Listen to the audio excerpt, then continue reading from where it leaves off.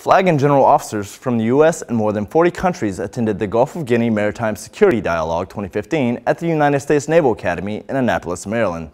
Petty Officer Tyrell Morris has more.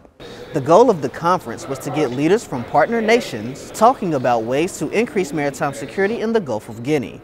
Secretary of the Navy Ray Mabus gave the keynote address. This is the third event in just over a year that's intended to advance the collaborative efforts in this strategic and vibrant region.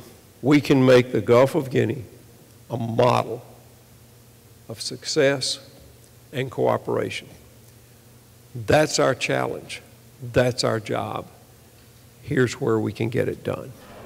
Check out Navy.mil for more information on the Gulf of Guinea dialogue.